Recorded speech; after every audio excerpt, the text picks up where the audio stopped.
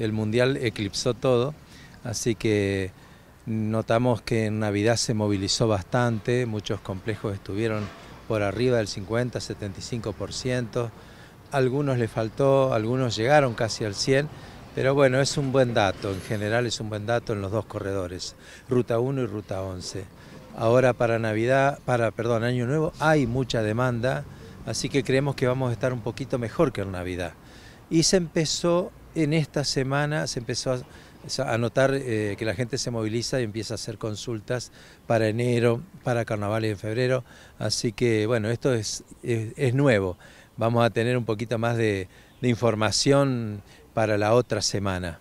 ¿Cuáles son las zonas más demandadas? El río, el río, la gente busca todo lo que es alojarse a la vera del río, donde se ofrezcan distintas alternativas, ya sea de avistaje, pesca deportiva, todo lo que se ofrece, eh, canotaje y bueno, la relación con el medio natural.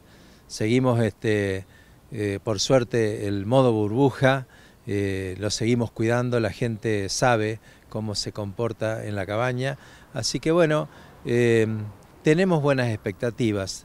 Lo que yo quiero recomendarle a la gente que consulte con mucho tiempo, que haga todas las averiguaciones, que consulten las comunas, los establecimientos habilitados, para evitar sorpresas. Eh, a comparación de los años anteriores que fueron atravesados por una pandemia, ¿se puede decir que se ha normalizado el servicio? Mira, se va normalizando, se va normalizando. No nos olvidemos que estamos atravesando una crisis tremenda y que ha golpeado mucho a la clase media que es un poco el fuerte o el perfil de nuestros clientes. Así que, bueno, paso a paso se va normalizando, en los feriados largos la gente se movilizó bien y creemos que en enero eh, se va a movilizar mucha gente.